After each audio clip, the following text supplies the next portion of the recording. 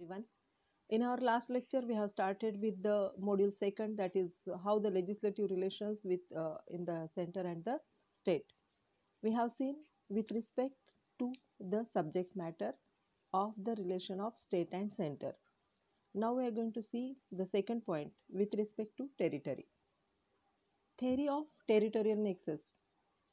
Territory म्हणजे काय तर भूभाग भूभाग कसा आहे कुठल्या प्रकारचा आहे त्यांच्यामध्ये कसे रिलेशन्स आहे याच्यावरून हे रिलेशन ठरलेलं असतं.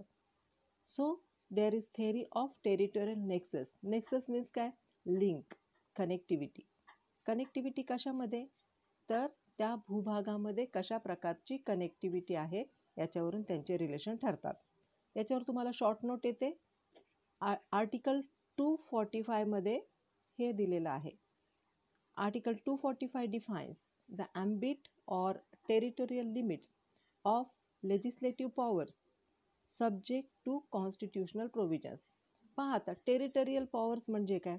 आता फॉर एक्झाम्पल बारामतीचं पोलीस स्टेशन आहे आणि फलटणचं पोलीस स्टेशन आहे. एक मर्डर होतो. तो फलटणच्या एरियामध्ये होतो. तर अशा वेळेस बारामतीच्या पोलीस स्टेशनला तिथं ज्युरिस्डिक्शन नाही. त्या ठिकाणी बारामतीचे पोलीस जाऊन इंटरफिअर करू शकत नाही. हां त्यांनी जर पाहिलं त्यांना जर लक्षात आलं तर ते कनेक्ट ते कुणाशी कॉन्टॅक्ट करतील? फलटण पोलीस स्टेशनशी आणि त्यानंतर फलटणचे पोलीस येऊन त्याचा पुढची सगळी कार्यवाही करतील.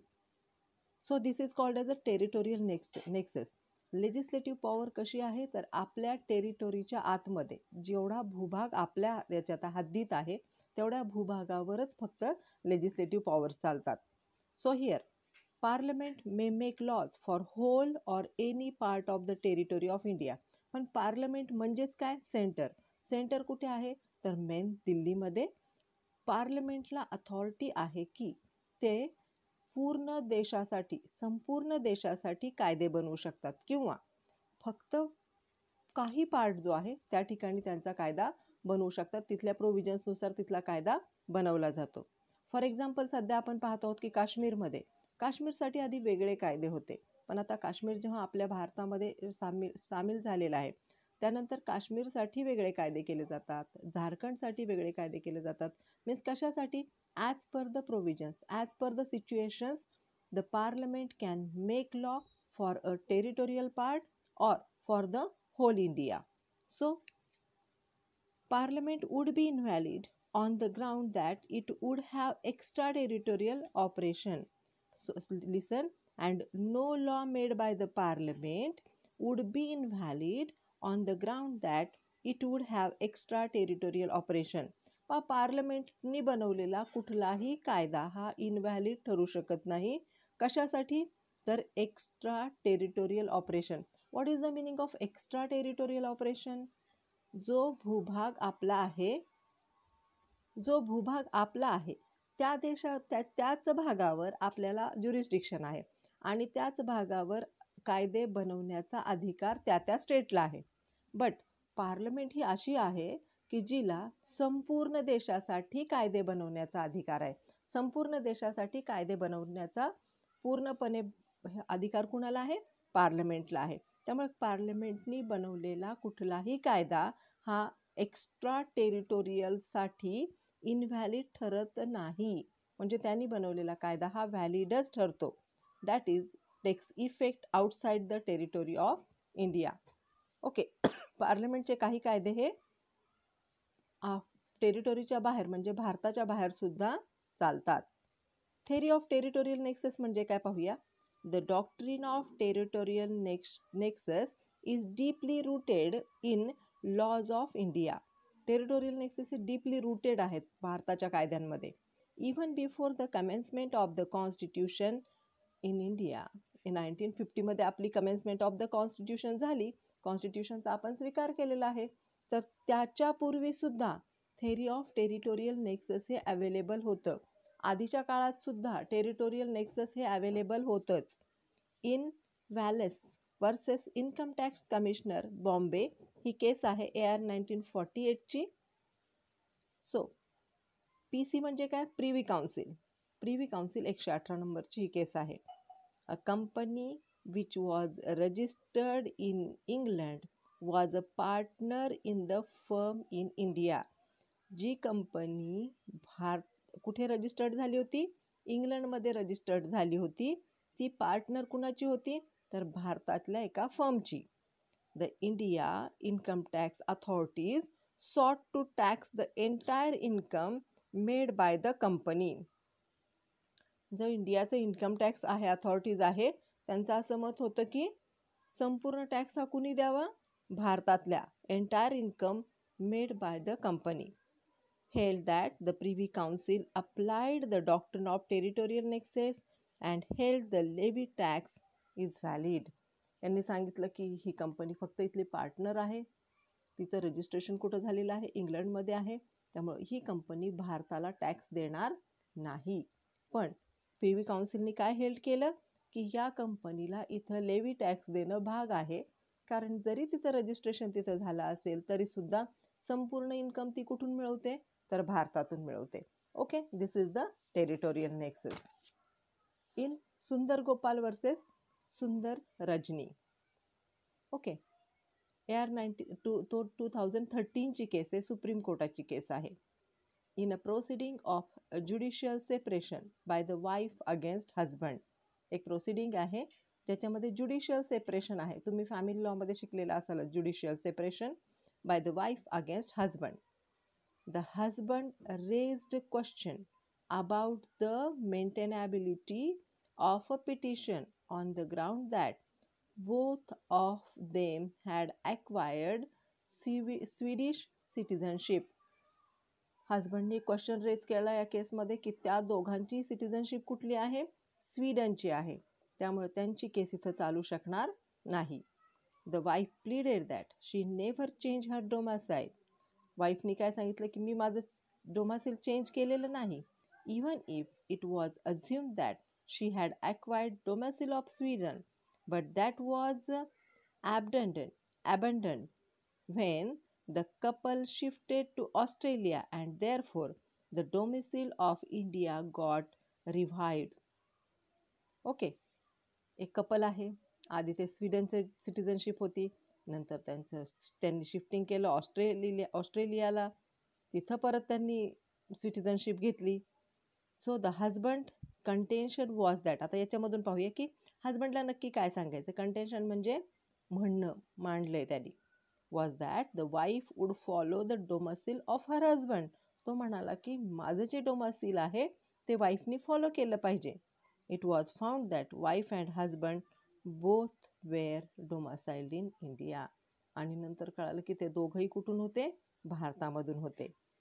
Section one sub section sub clause two Of Hindu marriage act extend the act of Hindus to the whole of India except the state of Jammu and Kashmir and it also applies to the Hindu domiciled in India although they reside outside India or have acquired the citizenship of another country. पहा आता ही केस कशाची आहे husband and wife आहे त्यांचं judicial separation होणार आहे ते सांगतात की त्यांच्याकडे स्वीडन स्वीडनची सिटिझनशिप आहे. परत त्यांच्याकडे ऑस्ट्रेलियाची सिटिझनशिप आहे. पण शोध घेतल्यानंतर कळालं की त्यांची त्यांचं डोमासाईल कुठलं आहे? तर ते भारताचे आहेत. मग ते हिंदू आहेत. मग हिंदू असल्यामुळं जो हिंदू मॅरेज ॲक्ट आहे त्याचे जे काही नियम आहेत ते सगळे त्यांना लागू पडणार आहेत.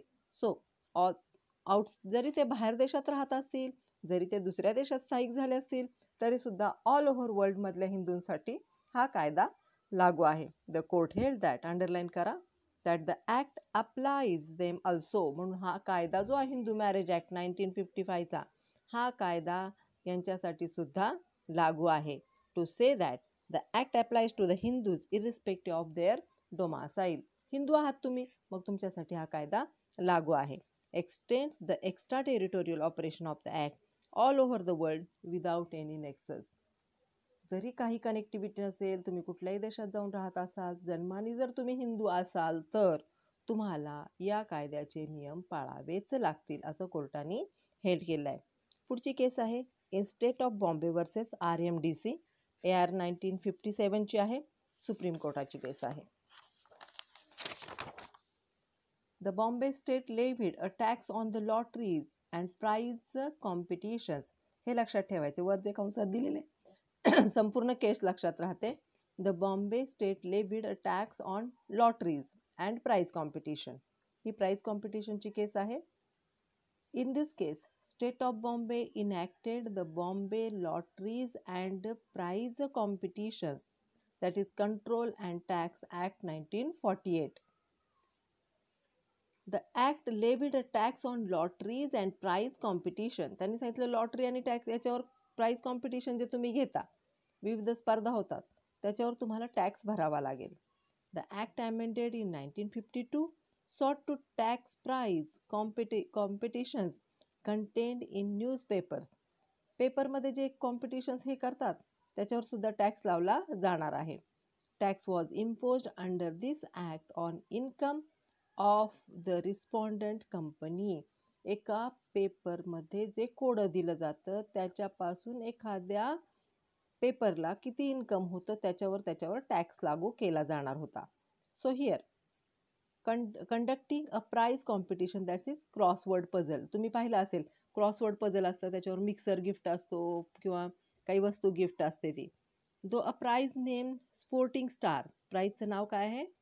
Though a paper name prize ने paper named sporting star printed and publish in the territory of Bombay हे कुठं बनत होतं? मुंबईच्या याच्यामध्ये ते बनत होता paper subscribe to cross crossword puzzle keeping in view the number of subscribers participants the respondent company open its collection booths within the territory of Bombay, from where the forms appearing in the crossword puzzle were to be issued खूपच response होता. आधीच्या काळात करमणुकी नव्हत्या mobile नव्हता त्यामुळे लोक काय करायचे? कोडी सोडवत बसायचे.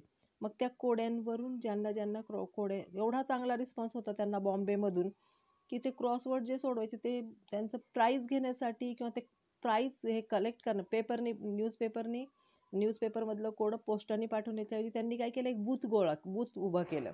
ज्या ठिकाणी लोकांनी सोडवलेलं कोडं आणून द्यायचं आहे. So in the crossword puzzle were to be issued fees collected and the result declare त्यांच्याकडून काही फीज घेतली जायची आणि रिझल्ट डिक्लेअर केला जायचा. The whole of the activity relating to the crossword puzzle was thus completed in the territory of Bombay सगळीच activity कुठं व्हायची पूर्ण? बॉम्बेमध्ये. Taking into consideration this fact the supreme court upheld the tax impose on the company आणि कंपनीवर काय केलं होतं? तर टॅक्स लावला गेला so here the court held that the whole of the activity relating to crossword puzzle was thus completed within the territory of Bombay. Taking into consideration their uh, facts, the Supreme Court upheld the tax imposed on the company.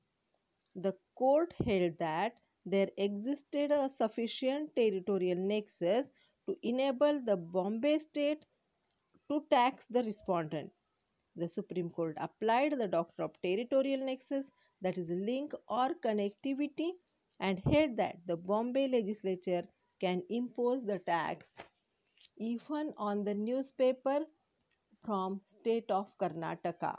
This is because although the place of publication of the newspaper is in state of Karnataka, it, ha- it had main business in the state of Bombay. Therefore, Bombay legislature is a competent to, to do impose tax on the newspaper on the basis of territorial nexus. पहा एक newspaper आहे ज्या जो कर्नाटकामध्ये publish होतो त्याची सर्वात जास्त विक्री मुंबईमध्ये होते बॉम्बेमध्ये होते मग बॉम्बेतले लोक खूप सारं त्या क्रॉसवर प वर्ड पझलसाठी ते सोडवतात कोडी सोडवतात मग कोडं सोडवण्या सोडवल्यानंतर त्याचं बूथ उभं केलं जातं. म्हणजे सर्वात जास्त बिझनेस कुठं होतोय? बॉम्बेमध्ये होतो आहे पेपरचं खरं प्रिंटिंग कुठं होतं आहे कर्नाटकामध्ये होते मग बॉम्बेमध्ये जर सर्वात जास्त बिझनेस होत असेल तर बॉम्बेच्या स्टेटला त्या न्यूजपेपरने टॅक्स देणं आवश्यक आहे. सुप्रीम कोर्टाने सांगितलं इस टेरोटोरियल नेक्सेस आहे. त्यामुळं कोर्टाने त्याला कोर्टाने काय आज्ञा दिली? की जो आहे स्पोर्टिंग स्टार नावाचा न्यूजपेपर आहे. त्यांनी याला मुंबईला किंवा बॉम्बेला टॅक्स देणं गरजेचं आहे. Okay thank you